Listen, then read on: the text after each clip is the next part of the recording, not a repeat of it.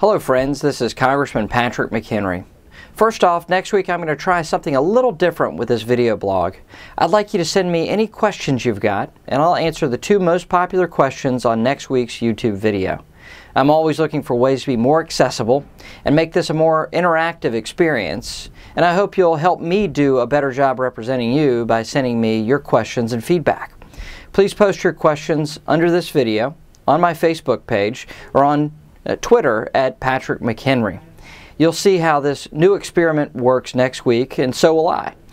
Secondly, I'd like to thank you for the overwhelming response to last week's poll question, which simply asked if you are confident that his State of the Union address, President Obama put forth the best plan to move our country in the right direction. With nearly 4,000 responses, a resounding 80% of you answered no.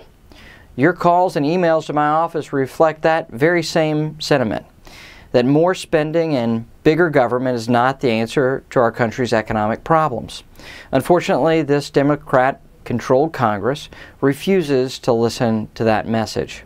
This week, the President proposed a budget that has a massive $1.6 trillion deficit. And Congress just voted this week to take on additionally $16,000 per American household in new debt. That's a mountain of new debt. It's a symptom of a deeper problem. And the real problem is reckless spending, endless deficits, and politicians' free spending ways. We deserve better. I support a different approach. We need a responsible budget this year, and I'm fighting hard for a balanced budget.